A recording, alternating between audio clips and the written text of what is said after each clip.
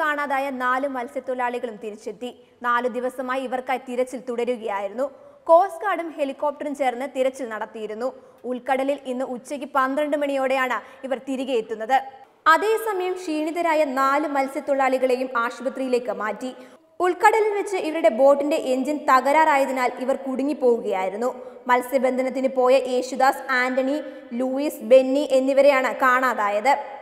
വ്യാഴാഴ്ച തിരിച്ചെത്തേണ്ടതായിരുന്നു ഇവർ. വെള്ളിയാഴ്ചയും എത്താതിരുന്നതിനെ തുടർന്ന് തിരച്ചിൽ നടത്തണമെന്ന് മത്സ്യത്തൊഴിലാളികൾ ആവശ്യപ്പെട്ടു. അതേസമയം അധികൃതർ വേണ്ടത്ര ജാഗ്രത കാണിച്ചില്ലെന്ന് ആരോപിച്ച് പ്രതിഷേധവും ഉയർന്നിരുന്നു. സംസ്ഥാനത്ത് കാലവർഷം ശക്തമായി തുടരുകയാണ്. ഇടുക്കിയിൽ മഴ ശക്തമായി തുടരുന്നു. ഇടുക്കി അണക്കെട്ടിലെ ജലനിരപ്പ് രണ്ടടി കൂടി. നിലവിൽ രണ്ടായിരത്തി മുന്നൂറ്റി ഏഴ് അടിയാണ്. പന്ത്രണ്ട് അടിയാണ് അണക്കെട്ടിലെ ജലനിരപ്പ്. മലങ്കര അണക്കെട്ടിന്റെ ഒരു ഷട്ടർ കൂടി ഇന്ന് രാവിലെ ഉയർത്തി. അതിനിടയിൽ പലയിടത്തും മണ്ണിടിച്ചിലുണ്ടായി. മുല്ലപ്പെരിയാർ അണക്കെട്ടിലെ ജലനിരപ്പ് നൂറ്റി പന്ത്രണ്ട് പോയിന്റ് അഞ്ച് അടിയായി. ഇന്നലെ നൂറ്റി പന്ത്രണ്ട് പോയിന്റ് രണ്ട് അടിയായിരുന്നു. തൃശൂർ പെരിങ്ങൽകൂത്ത് ഡാം തുറക്കാൻ ജില്ലാ കളക്ടർ അനുമതി നൽകി. പൊന്നാനിയിൽ കടൽക്ഷോഭം വീണ്ടും ശക്തി പ്രാപിച്ചു. തീരദേശത്തുള്ള കൂടുതൽ വീടുകൾ തകർന്നു. മണിക്കൂറിൽ അൻപത് കിലോമീറ്റർ വേഗതയുള്ള കാറ്റിനും ഉയർന്ന തിരമാലകൾക്കും സാധ്യതയുണ്ട്.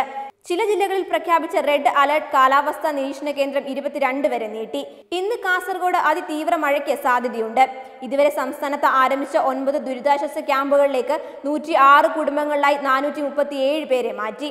കടലാക്രമണം ശക്തമായതും നദികളിൽ ഉൾപ്പെടെ ജലനിരപ്പ് ക്രമാതീതമായി ഉയർന്നതും തീരദേശങ്ങളിലെ ജനജീവിതം ദുസ്സഹമാക്കി.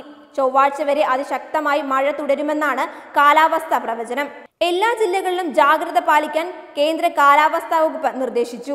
മണിക്കൂറിൽ അൻപത് കിലോമീറ്റർ വേഗത്തിൽ കാറ്റിനും ഉയർന്ന തിരമാലകൾക്കും സാധ്യതയുള്ളതിനാൽ മത്സ്യത്തൊഴിലാളികൾ കടലിൽ പോകരുതെന്ന് കാലാവസ്ഥാ നിരീക്ഷണ കേന്ദ്രം മുന്നറിയിപ്പ് നൽകി. വെബ് ഡെസ്ക് തത്തുമൈ ന്യൂസ്.